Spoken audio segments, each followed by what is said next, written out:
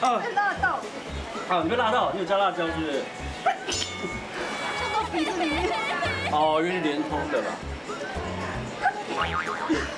你这样很正，有点泪眼汪汪、琼瑶的感觉。因为我今天是吃麻酱，嗯但是他们的那个油葱其实我也是大腿，而且他们这种细面呢，就这样拌起来更香，然后在传统市场里面吃起来更有那种味道，就是以前阿妈带你去逛市场的时候有那种味道。像我小时候在吃的炸酱面，它里面有就是很熟悉的豆瓣的味道，豆瓣酱。啊，有一点就是超爱吃豆瓣酱。但是我觉得很棒的是，因为其实我不太敢吃麻酱面，就是因为有时候麻酱呢，你放久了、啊，或者是也没有放久的时候，它的麻酱太狗了，他会觉得口感闷。但是在这边，但这边它的那个其他汁是给你很多的，它好像拌完之后它还是整个湿润，而且花生那种麻酱味道超香。嗯，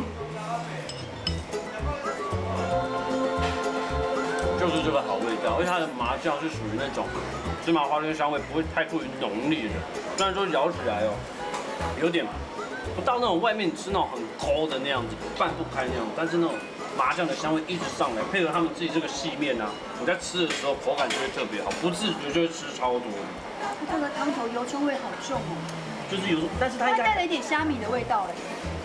还是算清爽的吧。嗯，对啊，因为它蛋就是这种简简单单的颜色，主要就是它的馄饨它的馄饨味道真足。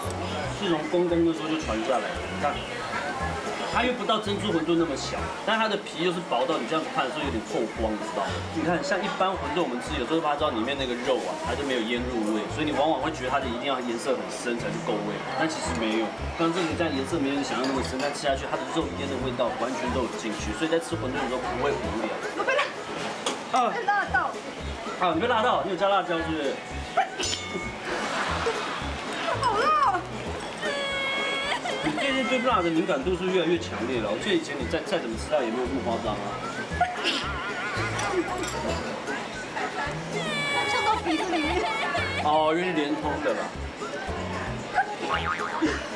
你这样很正，有点泪眼汪汪、琼瑶的感觉。好辣！对啊，很美。我本来想说这个炸酱面加这个辣椒好好吃，好搭哦。然后就辣到鼻子辣到，有感动吗？